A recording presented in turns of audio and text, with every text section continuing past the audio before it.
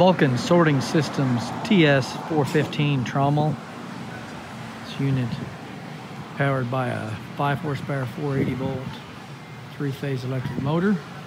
Comes with control, start stop, and emergency stop. Barrel is 4 foot in diameter by 15 feet long. Two sizes of screens.